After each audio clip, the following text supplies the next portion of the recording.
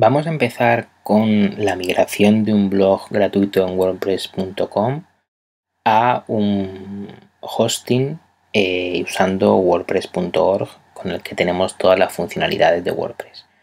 Bien, aquí tengo un blog en wordpress.com que queremos migrar y lo primero sería irnos a la parte izquierda, aquí en herramientas, exportar.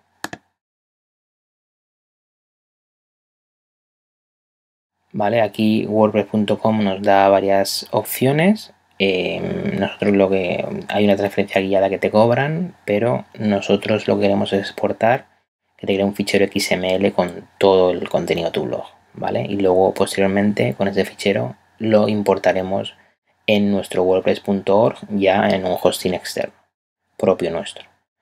Piñazo aquí en exportar. ¿Y qué quieres exportar? Pues en principio todo el contenido. ¿Vale? Todo el contenido. Le dimos descargar archivo de exportación.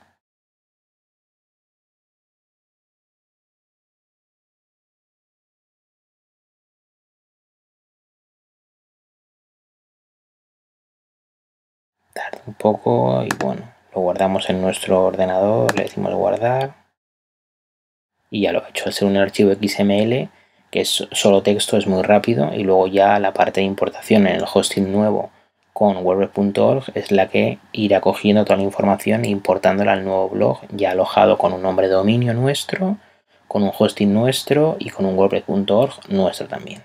¿De acuerdo?